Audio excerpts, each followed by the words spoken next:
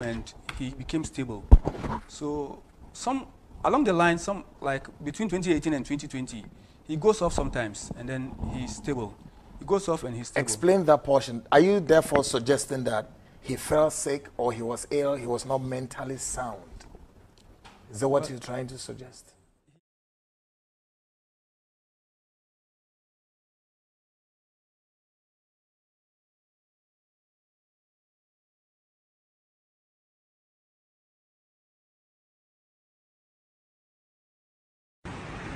Thank you.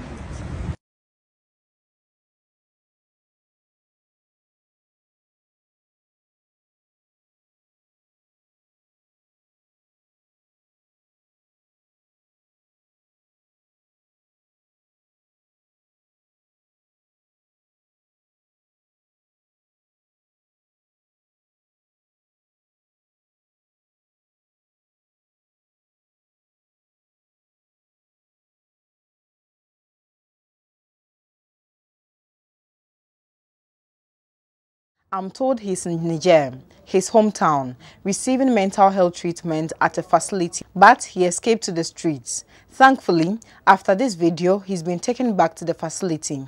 His family is doing everything to keep him sane. It was Ebusafo, wait. He's been able to attend to school to some level, and then he got into business, and then he started his own business, and he was doing well. But somewhere, somewhere along the line, he, he had issues. My producers are saying you talk like you are talking to your girlfriend. well, I have to match So my speak voice. a I bit guess. louder. Yeah. Okay. Mm. And he started business and mm. the forex business, mm. and he has he has been able to do well for himself mm-hmm. till he had issues along the line. That is when Ibra's issues started, and uh, I don't know what happened, and then he started behaving strangely. Yeah, Ibra is is is humble, like respectful, shy. Ibra, I don't think Ibra, the Ibra we used to know, mm-hmm. should be able to sit like me and then talk to people. He's very shy, very, very shy. And then generous, humble. But when things started going wrong for him, he started behaving in a way that it is not It, it looks awkward. awkward. It looks strange. Nothing of that sort comes from our family. We all have had a very good upbringing.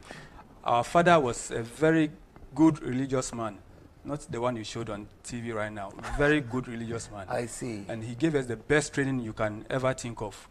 So I don't know if it was Let me ask this question: Are you guys, are you are you guys Ghanaians? Are you Ghanaians by birth. by birth? Yeah. I see. Your mom, your dad. But if I say by birth, my father comes from Niger, my mother comes from Niger. But they give birth to us here, Here. so we don't have any other country. We are I see. Ghanaians. But people say it's Fulani, he's not a Ghanaian or something. Ibra is a Ghanaian. You dispute that, correct? Ibra is a Ghanaian. I see. I am a Now, Ghanaian. what time or when did you hear that your younger brother has issued a threat to Chairman Japan that he should come out to apologize? He's giving him 24 hours and that you know, his failure to do so, he's coming after him. in 2018, mm-hmm. let me take you back. In 2018, when And even even by extension, he threatened the president. Yeah, let and me, a lot of Let me take you back to 2018. In 2018, Ibra was he was behaving the way he did this time. 2018. 2018, yeah. Okay. But then he called uh, Honorable's name, Ajepon's name, for support. That he is the he thinks he is the only honest politician politician who can save him. Yeah. So he thinks he's the only honest politician who can save him. But any other person who comes want to take money from him, want to snitch on him and all those things. So at that point, we were able to attend to him, get him fixed, like we sought, uh, sought uh, medical attention. We were able to fix him and he became stable. So some along the line, some like between 2018 and 2020, he goes off sometimes and then he's stable. He goes off and he's stable. Explain that portion. Are you therefore suggesting that he fell sick or he was ill, he was not mentally sound? Is that what you're trying to suggest? he not physically sick, mm-hmm. like he he has a condition that makes him.